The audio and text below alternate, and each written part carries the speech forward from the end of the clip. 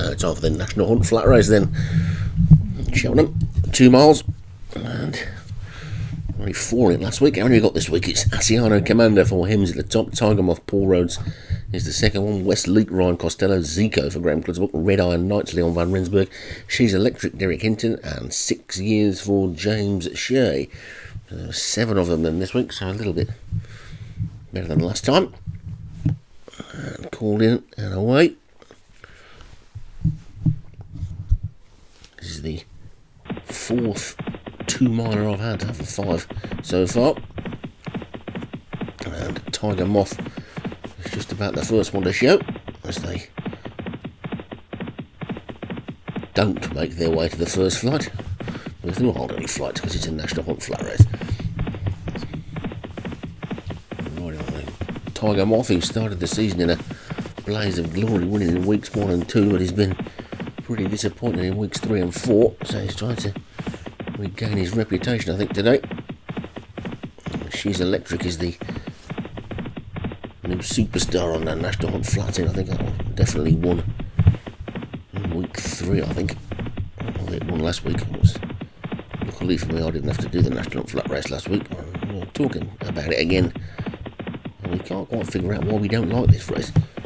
Most commentators being stewed do the jumps, of course, and um, I commentate on two miles on the flat every week, I don't mind it, but for some reason, this National Hunt Flat Race just doesn't seem to generate any excitement.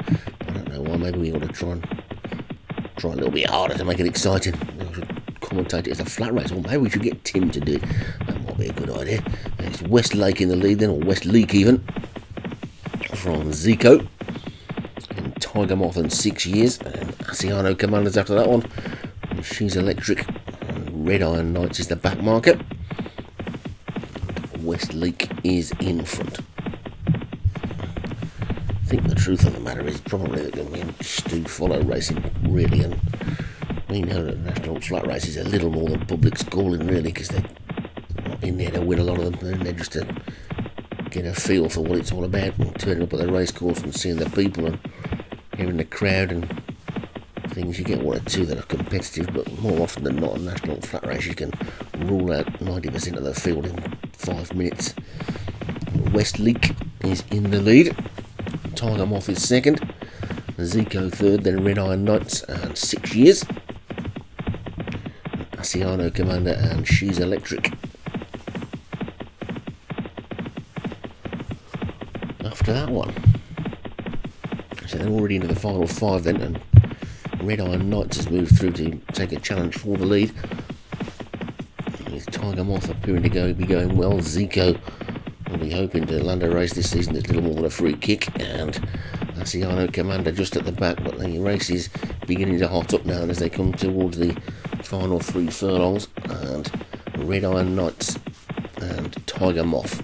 Here comes She's Electric, six years looks to be going well. Zico has now got a bit of a split. Asiano Commander next. West Leak is the one that's dropped away, but Red Iron Knights passes the two furlong pole with a lead of a length from Tiger Moth in second. She's electric third. Zeke after that one years. And Asiano Commander, but Red Iron Knights is starting to pull away. I think they're two lengths to the good from Tiger Moth is under pressure. Zico isn't running on that one. They're racing up now towards the winning post. They've got less than half a furlong to go. And Red Iron Knights is going to take the national flat race this week up towards the line. Red Iron Knights takes it close for second, probably just Zico from Tiger Moth. She's electric.